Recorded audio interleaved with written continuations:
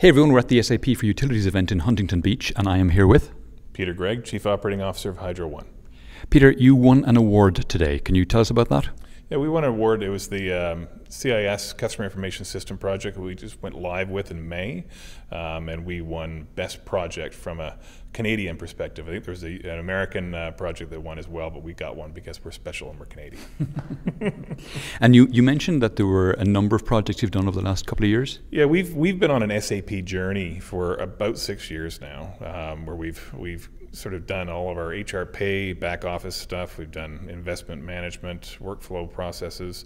Uh, but this last one, which we call our phase four, was the customer information system uh, replacement. We had a legacy system that had been uh, built for us about 11 years ago, incredibly complex and purpose built rather than out of the box, and uh, it was unsupportable. We needed to change it. So we've uh, gone live on May 24th of this year, and we've had uh, excellent success so far.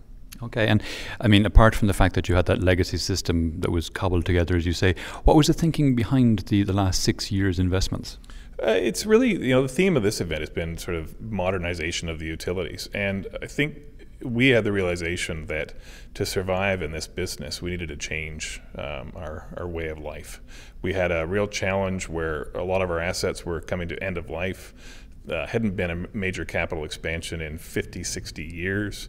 Um, and our customer expectations were changing as well. Their expectations of having um, better service, better information about our, our, company. So we took a step back, um, talked to a lot of uh, professionals in the business, and took what I think was a bold step to try to get ahead of that.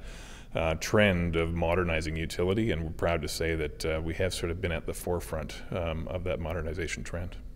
But that's a lot of money. It's an awful lot of money, and we've spent a lot of time discussing it with our regulator and our customers.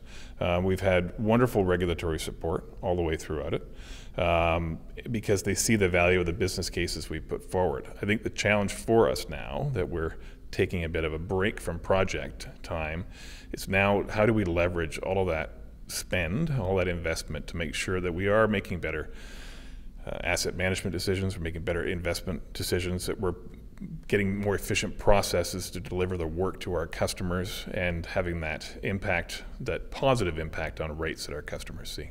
So long term, it should help at least stabilize the price for a while. It'll stabilize the price. I think it will. We're having other pressures to um, in the Ontario marketplace outside of our own business, but we don't manage the commodity price. Commodity price has been going up substantially.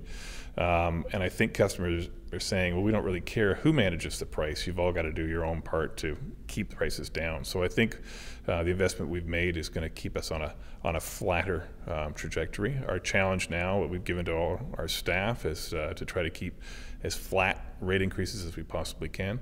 And so we're going in for a distribution. We do a transmission and a distribution filing in our business, and uh, our challenge in our distribution five-year rate case is to keep our average annual increase at 1%, so less than inflation. Excellent. Fantastic. Thanks very much. Great. Thank you.